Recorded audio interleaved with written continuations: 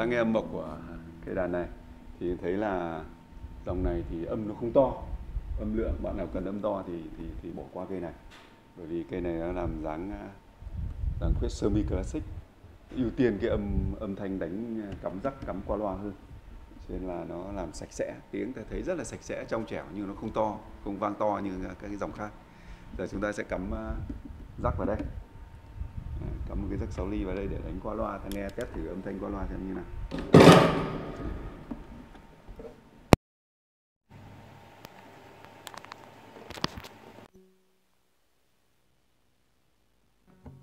Rồi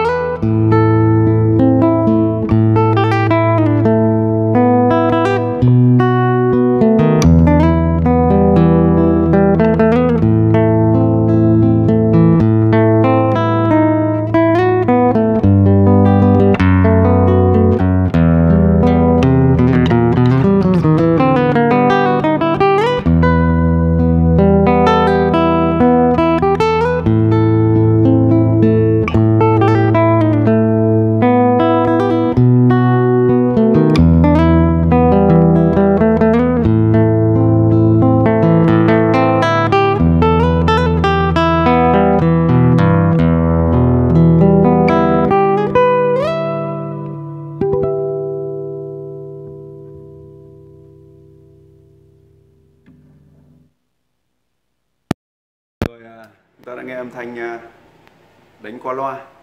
Thì có thể thấy là âm thanh lên loa xuất sắc. Tức là nó tiếng nó rất trong trẻo không ù xì tí gì.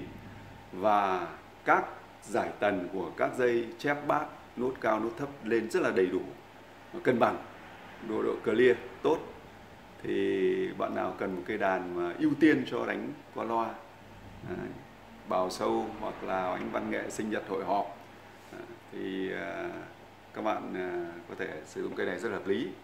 Còn nếu để chơi thì thì nó không to. Đấy, âm thanh nó lên loa à, lên âm thanh mộc thì không to. Chỉ có âm thanh lên loa là là là xuất sắc.